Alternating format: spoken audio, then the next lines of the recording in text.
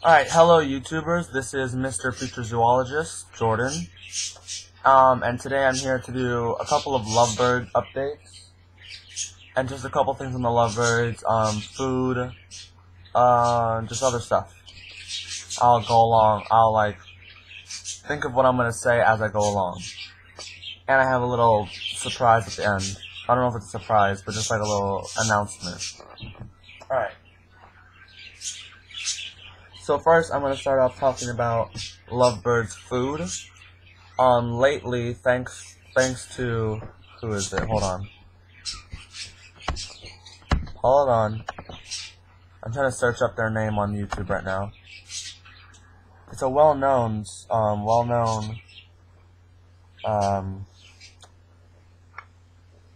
what am I trying to say? A well-known, they're well-known, well-known YouTubers um, and their name are their name is Star Stargate Stargates Four or True Love Aviary, um, whatever you want to call them.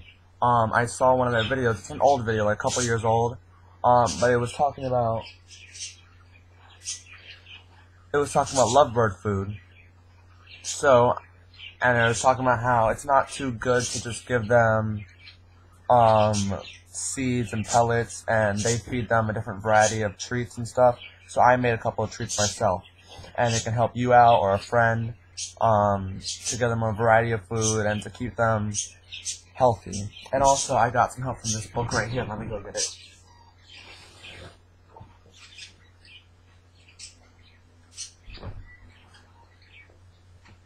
The book that I got help from is a new a New Owner's Guide to Lovebirds, or just Lovebirds, by Nikki Moustaki. There's a nice picture on the back. And it just pretty much talks about all the stuff that you need to know about having a lovebird. And I'm about to finish reading it. I got it for Christmas. Um, and it's a really good book. I would recommend it. You can find it at like your local pet store. Um, I think that's where my mom got it from. She got it from, I think, my local pet supermarket on University and Sunrise. So, yeah, that's the book. The first thing that I got right here, this is a bunch of fruits and vegetables, and it's a chopped up mixture that I free that I don't freeze, I refrigerate it so they stay nice and um like they stay good, good.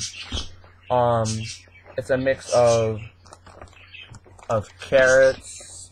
The orange stuff is carrots. And you have like a little bit of the of the green stuff is a bunch of romaine lettuce, broccoli sprouts, and celery and parsley. I also put pineapple and tomatoes for a good flavor of juice. Uh, there's some there's a couple of pineapples slices that you can see.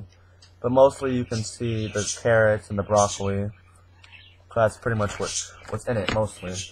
And how I do this is I just add it with their food, their normal regular pellet and seed diet. Um,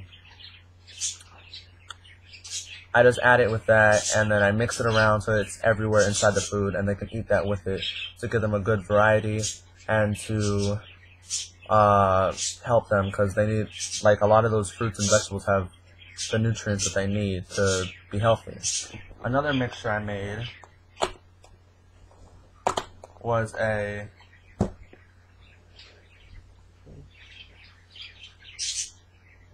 you know, another refrigerated meal. It's not too appetizing when it comes to looks. It is a mixture of rice, bananas, uh, romaine lettuce, carrots, spray millet, and regular old seeds. And how I use this is I will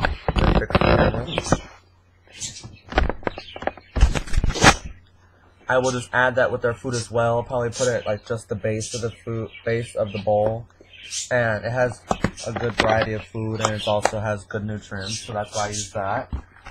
And how I made this vegetable mix is I took a bunch of vegetables that I bought, that my mom bought from Publix, and um, I put it in this mini chopper that I got, that my parents got for Christmas. and uh, I chop it up in there, and you just put it in a plastic bag, refrigerate it so it stays nice and good, and then you add it with the food.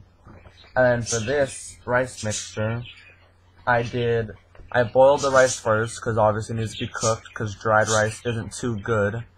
Um, so I boiled the rice, then I took the rice out and put it in this plastic container, and then I took their regular Higgins Premium Pet Vita Seed which has a bunch of small pellets, some sunflower seeds, pel um, pellets, small seeds, a bunch of different good stuff. I boiled that with it. I chopped up some carrots, lettuce, and banana, and I put it in there as well. And then I put a, a strand of spray millet. So I put that, I boiled that after in a in the same bowl with about half, with about halfway. It depends on how big your um your pot is, but I just kind of like went by reasoning and put enough water in there for it to boil. I boiled it for like maybe like two or three minutes. Then I took it out and then I added it together. I mixed it around. Then I put it in this plastic container and I also refrigerate that. And this is how it looks after you mix all three together. What I do is I add the rice bowl, I add the rice mixture to the bottom of the bowl, then I do midway of vegetables and fruit mixture. And then at the very top, I do about a cup of a cup of um of their seeding pellet. But when I say cup, not like a me- not like in a measuring cup. I do it in like um one of those cups that they give you for laundry detergent, and you have to scoop the detergent up and put it inside the um, washer. I use one of those cups, but I obviously clean out the bowl or the scooper so that it's not infected with all the stuff inside the detergent and stuff like that. So don't start yelling at me because I did this. Um, and then I mix it around so that they have a good variety. Or, yeah, like, so it's all mixed together. And you probably can't see it, but you can see, oh, I can see that they ate some of the seeds. They ate a lot of the spray millet that was inside. They ate some of the rice, a couple pellets, so they're still getting used to this mixture. Let me straighten up the camera. That's too high. Alright. So that's just the mixture and the foods. Also what I've been doing lately is I've been adding paper shreddings inside of their cage in a bowl so that they can pick it up and shred it up. Now with paper shreddings, make sure that the paper that you're using is free of ink or writing, no pencil or pen writing on here or marker or anything like that. Because if they chew it and in ingest the paper, then that'll be bad for them. So make sure it's plain piece of paper. Put it in a paper shredder or just cut it up and it'll be fine. Um, I put it in a bowl and they take it out and they shred it up. Um, what else is there? I'm gonna buy them their own shreddable toy soon. It's like a shreddable caterpillar toy. Uh, excuse me for from Petco, like four dollars. Um, so that I'm gonna put in their case so they can shred it up. And they shredded up one of the sides of their of their hut so that I can only hook one side to the cage. So if they shred the other side, then I have to buy a new one. Um, what else is there for them? Um, Zazu might be a female and Nala might be a male because I always see Nala feeding Zazu, which is what the males would do to the females. And I see Nala having a little bit too much fun with her happy hut. So he might, Nala might be a he, and Zazu might be a she. So I'll find out maybe later on in my time having them. Um, any updates with the parakeets would be that they are still waiting for their cage. As you can see, back right there, where my finger's pointing. That is their cage that they are living in right now. And I'm going to be buying a new flight cage for them that'll go right here where that laundry basket is. Maybe right there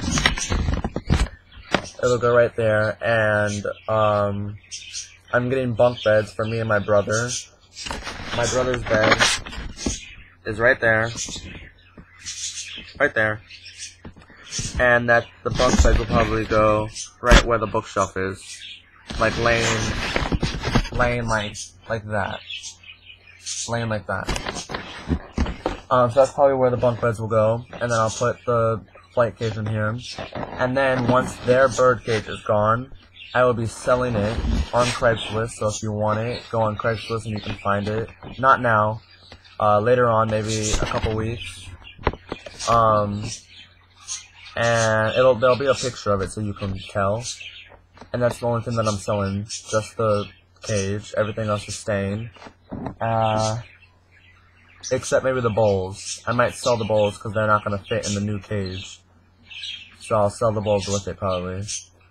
Um, and I'm going to sell it for $50. I got it for um, 65 65 to 70 So I'm going to sell that, and with the $50 that I get from it, I'm going to buy my new gerbil cage, because I'm getting gerbils, so I'm to buy the gerbil cage, and I'm to use some of the money for, like, their, their, um, accessories and the, the gerbils themselves. And they will go right there where the parakeets are at. They'll go right there next to Smokey.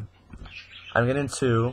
I'm gonna get two males from Petco. Um, they're gonna be named Timon and Pumbaa. Um, as of now, they'll be named Timon and Pumbaa. Maybe later I'll change the name. And they're like, they're $11 at Petco, so it'll be $22 for both of them. I'm gonna get a the Super Pet Critter Trail Discovery, the, the Deluxe Discovery Habitat, or like or the uh, large or the large clear view habitat. I don't know. Um, and I went to the. I just got um done washing my mom's car, and then I walked up to the pet supermarket by my house, and I, I just got back, and I bought two things. I bought, I don't know, you probably won't be able to see it, but it was a Higgins Premium Pet Food uh, treat stick for Zazu and Nala. It was a vegetable and fruit mix, and they like that. I put it near one of the perches, and they eat that up. And then for the gerbils, which is a really good price, um, let me go get it.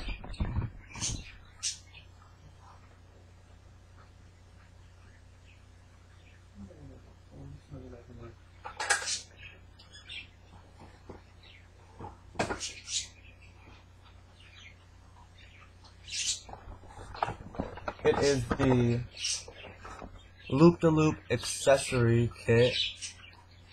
There's the loop-de-loop and the other tubes that come with it. It's for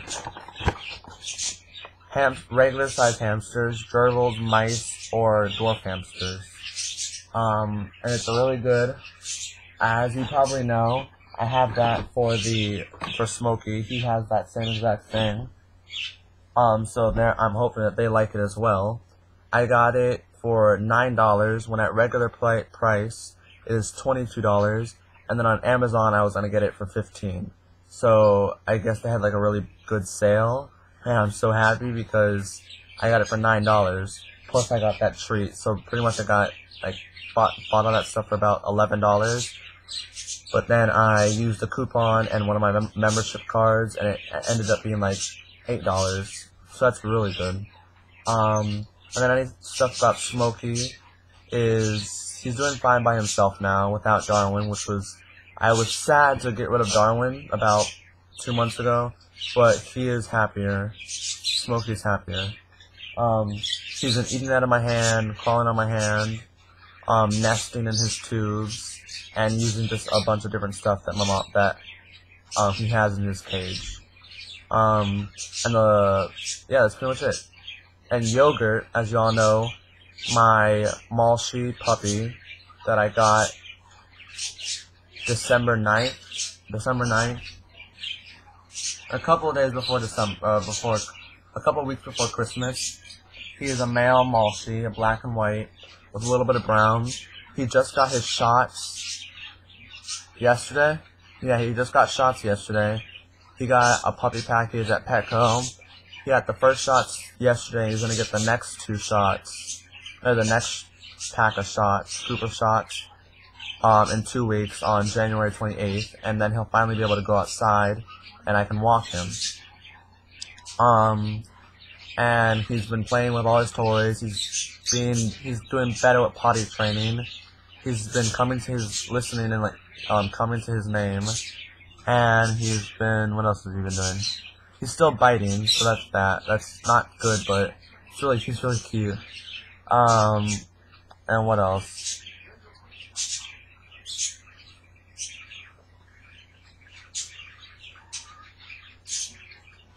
Oh, sorry. I was watching TV for a couple seconds. Um, what was I gonna say? I don't know what I was gonna say. What was I gonna say? Oh, he just turned 12 weeks this Friday. Oh, sorry about that. Um, so yeah, he is getting older and bigger, and he's really adorable. And here's the colors of gerbils that I do want. I want that black one right there, a black and white, or a, a brown, a brownish gray one like that. And here's my list of all the stuff that I'm getting.